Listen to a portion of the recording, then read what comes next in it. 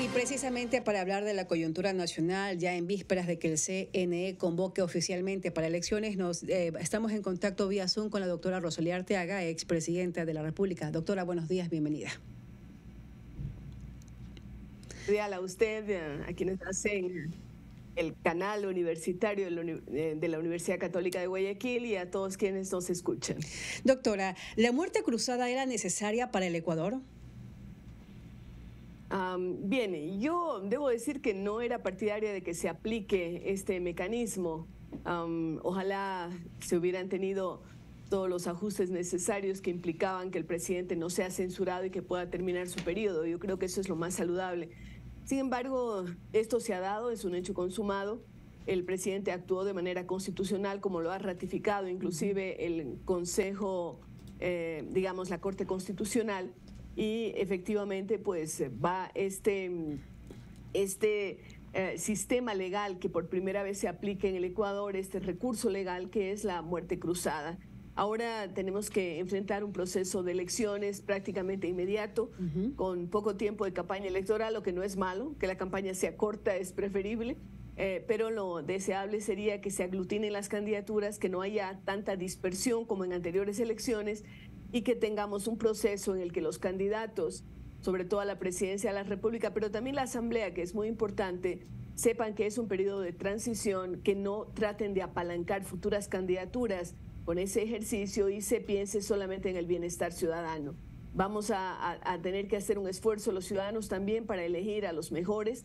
Ojalá las opciones que nos presente tanto... Em, los partidos políticos como los movimientos dejen de lado los egos personales, dejen de lado los cálculos políticos partidistas y piensen qué es lo mejor para el Ecuador y se tengan buenos candidatos para la presidencia, pero también para la Asamblea. Recordemos que la Asamblea ah, tiene un desprestigio enorme, llegó a tener creo que menos del 4% de aceptación y eso es lamentable eh, me preocupa el anuncio de algunos partidos de que van a sacar a los mismos que estaban en la Asamblea como candidatos, es decir, más de lo mismo. No vamos a mejorar nada.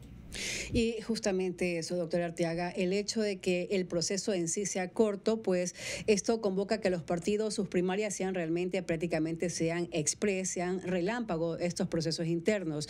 Pero ¿qué va a pasar entonces? ¿Los candidatos que presenten tanto para la Asamblea serán entonces los mismos personajes o quizás va a derivar que ellos tengan que improvisar con las figuras políticas que nos van a representar en un futuro?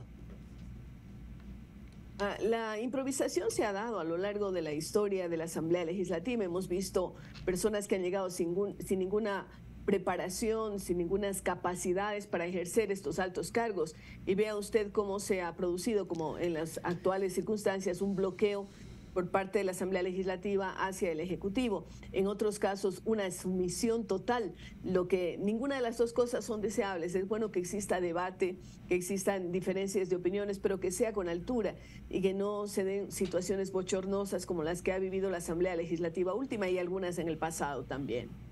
Doctora, con las últimas reformas al Código de la Democracia, ¿será posible incluir el 50% de las mujeres como cabezas de sus listas de candidatos? Ah, bien, eh, las últimas reformas se van a aplicar desde el 2025, es decir, eh, las candidaturas a presidencia, vicepresidencia de la República a partir del 2025 serán siempre obligatoriamente, eh, si encabeza la lista un hombre, pues, o, la, la, candidatura presidencial un hombre, la vicepresidencia tendrá que ser ocupada por una mujer y viceversa. Así es que esto se aplica desde el 2025, pero siempre es deseable que exista un equilibrio entre hombres y mujeres en las diversas candidaturas. Desafortunadamente esto no se cumple, ¿no? Y a veces también el electorado no responde de forma adecuada. Pero si nosotros vemos la actual composición del gabinete, dista mucho de ser un 50-50. Ni siquiera el 25% de mujeres están representadas en el gabinete presidencial. Esto es algo que los eh, presidentes, los los candidatos, etcétera, deben, deben tomar en cuenta eh, tratando de llegar a ese equilibrio que es eh, lo más saludable. Doctor Arteaga, desde su punto de vista, ¿la Revolución Ciudadana sale favorecido con este proceso electoral? Sí, lo he expresado en algunos artículos. Recientemente me pidieron un artículo para el diario El País eh, de España y otro para la Tercera de Chile y esto es lo que he manifestado.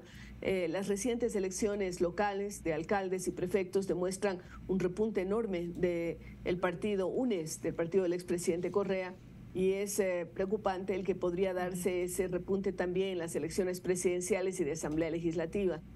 digo que es peligroso porque desafortunadamente nosotros sabemos lo que ocurrió en esos 10 años, en donde tuvimos un gobierno eh, hegemónico, diríamos así, con presencia mayoritaria en la Asamblea, con copando todos los espacios de poder y desgraciadamente se han destapado tantos casos de corrupción, de falta de, eh, de equidad, diríamos así, que realmente nos preocupa que esto pueda volverse a repetir. Por eso es que instamos a que los candidatos pongan, algunos de ellos, sus legítimas aspiraciones, dejen de lado sus egos y más bien se aglutinen y ojalá se pueda formar una fuerza importante de ciudadanos de bien que llegue a la Asamblea Legislativa y una candidatura bastante unificada para presidencia y vicepresidencia. Pero entonces, ¿qué alternativas tenemos los ecuatorianos al momento de ejercer nuestro voto si ya conocemos que la Revolución Ciudadana irá prácticamente con los mismos legisladores? Asimismo, la izquierda democrática y el PSC, quienes ya casi han ratificado a quienes estuvieron en esta Asamblea, como usted lo mencionó, que tuvo apenas el 4% de aceptación a nivel nacional. Exactamente. Si el 4% de solamente apruebe esa asamblea, sería absurdo que se vuelva a elegir a los mismos. Allí mm. la única salida es la reflexión de los ciudadanos que no vayan a votar en, bloque por quien les diga em, o les cante eh, esos cantos de sirena o prácticamente de órdenes desde fuera del país. No, lo que se tiene que buscar es las personas más idóneas. Sería absurdo que si tiene tan, buena tan mala calificación, una asamblea se vuelve a elegir a los mismos. Eso hablaría muy mal de los electores ecuatorianos. El poder está en nosotros, no lo olvidemos ciudadanos. Nosotros somos los que tenemos la capacidad de elegir.